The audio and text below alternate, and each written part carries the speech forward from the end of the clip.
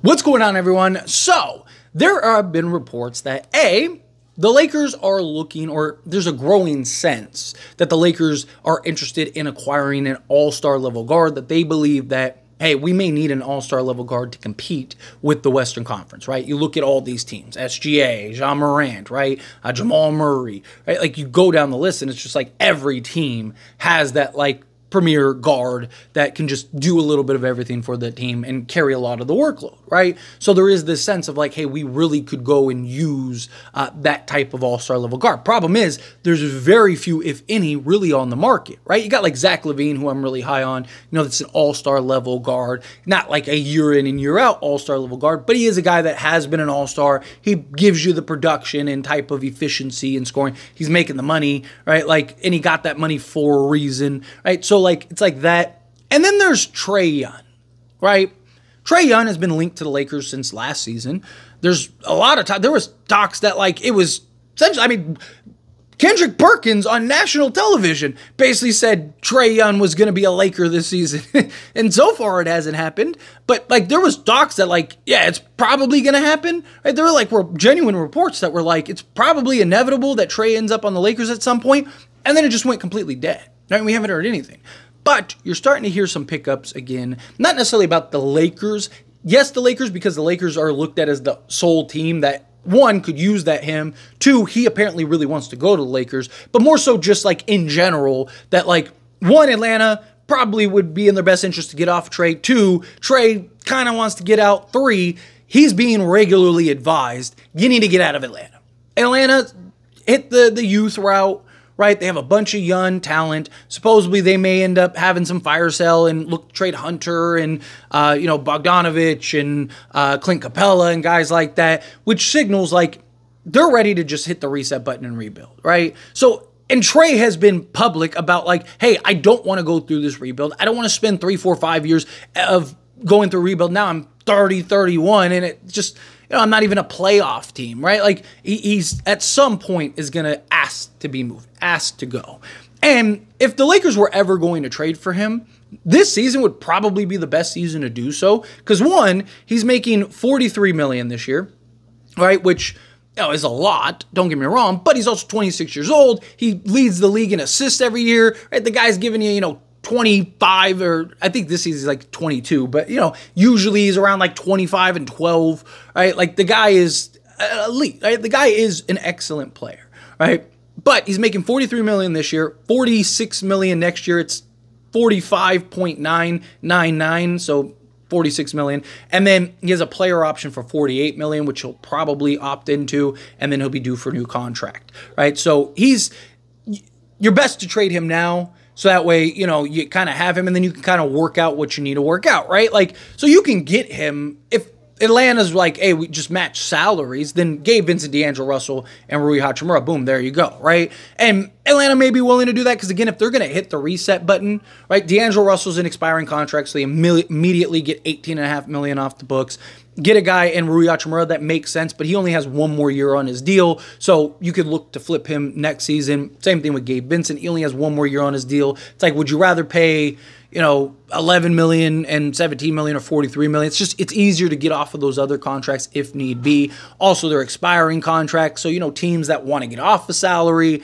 know, Atlanta could always play that role and like, hey, we have 28 million in expiring that we could trade next season, right? Just, it gives them some flexibility. Obviously, Lakers would probably have to give up both their first. So probably trading both first in order to do so. And then there you go. trae Young would be a Laker. Now, you know, could there be something else? Maybe they want Austin Reaves instead of Gabe Vincent or whatever. Would the Lakers be willing to trade Austin Reaves for Trae? If it's me, yes.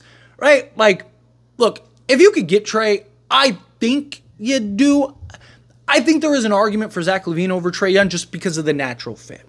Trae Young is he's younger, star potential, healthier, right? Like Trae makes a lot of sense, especially with Anthony Davis. Trae Young and Anthony Davis as a duo makes all the sense in the world. They could end up being one of the best, if not the best duo in the league uh, when LeBron leaves, right? Because his ability to just play make and facilitate and do all that stuff and he'll just make Anthony Davis's life so easy, right? I mean, he probably he averages 12 and a half assists right now. He'd probably average 15 if not more alongside Anthony Davis, right?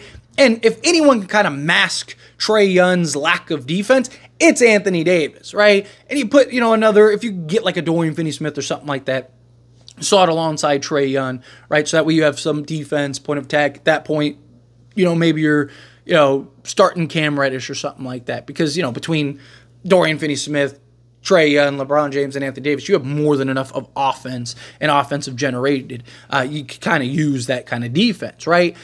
So I, I, I don't hate the idea of Trae Young, especially long term wise. And I mean, even after Anthony Davis, you'd still have a star that you could kind of build around. But there's a couple of concerns that I have with Trae. right? One is, can he, like, does he make sense for the style of offense that JJ Redick wants to run? And if so, who's going to conform, right? Like who's going to who's going to switch up their style, right? Because Trae is one of the most high usage players ever, right? He is the offensive system. Ball's in his hand. He's making all the decisions. He's making all the plays. He's doing all the dirty work, right? And then you look at the Lakers, their offense is about player movement, ball movement, right? Like ball doesn't stick. It's not one guy dominating the basketball. Yeah, LeBron has his moments, has his stretches, but for the most part, it's just it's Reaves initiating. We've seen, you know, AD initiate, Knecht initiate. Guys are initiating, and then you're getting in your actions, right? Is that something that Trae would be kind of willing to get into? Possibly, maybe be willing to do that because it would take some pressure off of him to have to do everything. So maybe be like, yeah, that's great, right? Like now I don't have to be the engine, right? Like I can focus on the other things. Like I can still get, still probably average 10 assists, right? Get the assist, but I can also focus on the things that the Lakers need, which is scoring and getting to the basket and setting up Anthony Davis and so on and so forth, right? Like, so I do have the questions, though. It's something that's at least worth asking. And then LeBron James, right? LeBron has talked about wanting to be off ball more, right? And to his to his credit, he has fit in better to the style of offense that we're playing. But in like the Magic Johnson role right? He's the guy that's on ball. He's the guy that's making the plays. He's playing the Trae Young role. And we've seen the Lakers time and time again go and get a guy to try to let LeBron play more off ball, and then LeBron just ends up being on ball the whole time, right? So it's like, it's one thing to say, yes, I want to play off ball. It's another thing to actually be willing to do so, right? And it would be nice to have Trae because, like, you could have Trae and LeBron. One of them could always be on the court at all times right? So you always would have a playmaker on the court that is elite playmaking wise. Although LeBron's turnover issues have been a problem this season, but he is still, you know, elite playmaker. Um, so, you know, it, it does kind of beg the question of like, can LeBron and Trae coexist? Right? Can the two of them operate and work together? We saw DeJounte Murray and Trae just essentially implode each other, right? And it just didn't work. Now, obviously, LeBron James is a souped up version, right, of like what DeJounte Murray is, right? But still, it's like, would it be clunky? I, I just, I have my concerns. I'm not saying you don't do it, right? I think you do it and you kind of figure it out. But, and, and it wouldn't be like people, like what I've talked about Trae in the past. People are like, well, it's just a Russell Westbrook situation. No, it's not even close. One, like Trae is like in his prime. Two, he actually can shoot, right? Like that's the problem with Russ is he couldn't shoot. And also Trae with the playmaking. So even when he is having an off night, he could still still go get you 30 points and in assists, right? Like just by playmaking and slicing apart a defense. So right there's value there. Obviously the defensive issues and concerns, the lack of athleticism, right? Concerns, right? There's still definitely concerns with Trae But it's just like you're very limited on the options. And if you really, if the Lakers really are serious about trying to get an all star guard, you know, you could do worse than Trae. And you know, obviously he's a guy that can close games for you. He's a guy that's not afraid of the moment, big playoff performer, right? He led a team to the conference finals, right? Like, and it's just he, he again. There there are a lot of pros to Trae. There are also a lot of cons, and you have to put the right pieces around him. If this was like prime LeBron, where he could just you know lock down defensively and just dominate, imagine him as like a cutter and slasher. I mean, stop, right? Like but he's not, right? He's not the same LeBron. He's still an incredible talent, still top 10 talent, but he's not the same LeBron, particularly on the defensive side. So you really need, if you're going to go get Trae, you're really going to need some defensive pieces. Right? You're really going to need, you know, like ideally two two way guys, but you don't have that. Like Knecht gives you the shooting, but defensively, right? Like is he the best option alongside uh, Dalton Knecht? Probably not, right? Like unless he can kind of take some real strides defensively. So it's like, okay, well, if you could get a healthy Jared Vanderbilt, that would, you know, feed families, right? Like healthy Jared Vanderbilt, you could slot him alongside uh, a, a, a Trae Young, and then at that point, you if you want to do Dalton Knecht or whatever, you could, right? Like, um, if you get Trae, there's almost an argument to just like if Vando's healthy, just go with like Vando and Reddish just to have like the two big versatile wings, unless you get like a Dorian Finney. If you get a Dorian Finney Smith, then I think you get that too. Because the Lakers could get Trae and then still go get uh, you know a, Dorian Finney Smith or something like that, right? Like they're not. It's not like oh Trae and that's it because he's making the same money as Zach LaVine is, and I've talked about like you can get Zach LaVine and other pieces, right? So to me, if you get Trae, you have to get the compliment. You have to get like a Dorian Finney Smith in the in, in a separate trade, right? Got to get some type of defense, um, you know, two way guy and, you know, I mean, at that point, I trade whatever you have to trade. And, you know, can you get a Dennis Schroeder and, you know, uh, uh, because, okay, so if you're talking Trae, 43 million, right? If the, let's say the Lakers were willing to trade Reaves, right? So you could do like Reaves, D'Lo, Rui, get you to Trae, right? Actually, get you a little more. Um, but that's fine because you're going to need to fill out a roster, right? So get to Trae.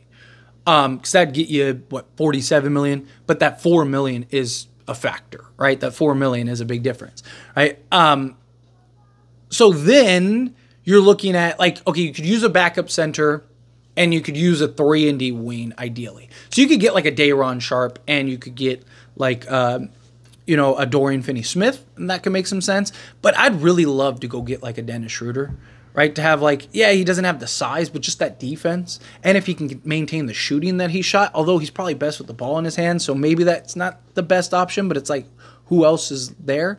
Um, but it really boils down like, would they be willing to trade Reaves? Because if they would be willing to trade Reaves, then you could get like a Dorian Finney Smith and another piece, right? Like, because because you'd still have like Jared Vanderbilt, Max Christie, um, Gabe Vincent, right? So there's another 28 million in salary, and that's not counting Jalen Hood-Schifino, which give you another 3.3 million. It's not counting, um, you know, vet minimum guy. So you could get to another 30, 33 million, roughly, and then still have salary space to go and bring in, you know, two or three guys that you need, right? So, you know, if they were willing to trade everybody, and like if you could end up with like a Trae Young, Dorian Finney-Smith, and then you need another like three and D wing that would be available. Um, or or like could you get from like Chicago? Could you get like just an Ayo, right? Because he's like a six five point of attack, three and D guard, like something like that, where you still maintain some size,